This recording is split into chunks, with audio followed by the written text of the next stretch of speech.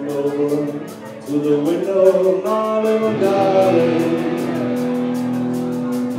I'd like to try to read your mind.